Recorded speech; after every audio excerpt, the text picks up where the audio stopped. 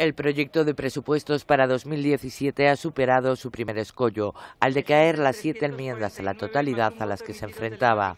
Han sido precisas tres votaciones, con empates sucesivos a 175, para que las cuentas sean admitidas a trámite. En consecuencia, quedan rechazadas las enmiendas de totalidad al proyecto de ley de presupuestos generales del Estado para 2017. Se levanta la sesión.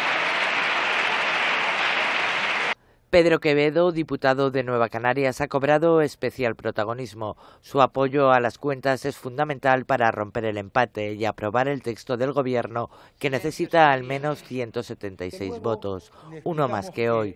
Quevedo ha incidido en que la responsabilidad la tiene el Gobierno. La responsabilidad del presupuesto la tiene el Gobierno de España y no este diputado que le habla. En realidad, el famoso diputado 176 no es desgraciadamente el que le habla. El diputado 176 es usted, señor Montoro. Del que depende que prospere o no el presupuesto es de usted. El ministro de Hacienda, Cristóbal Montoro, ha insistido en la disposición del Gobierno a negociar modificaciones del presupuesto y ha mostrado su intención de sentarse a negociar con Nueva Canarias para lograr su apoyo a las cuentas en la votación final que será entre el 29 de mayo y 1 de junio.